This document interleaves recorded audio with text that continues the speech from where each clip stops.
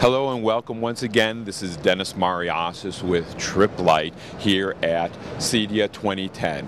What we like to show you right now, it's what's called our PDU MH15AT net. What this unit does, it gives you eight outlets of IP manageable power.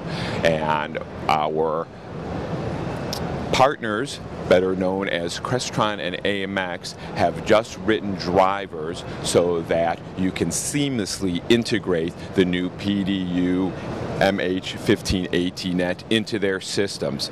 No more problems will you have with items being locked up. You can now go in remotely from your iPhone, from your Blackberry, and be able to reboot those stubborn items that might have had some sort of anomaly that have caused them to freeze up. So no more rolling the truck, gentlemen. Let's be green and do it over IP management.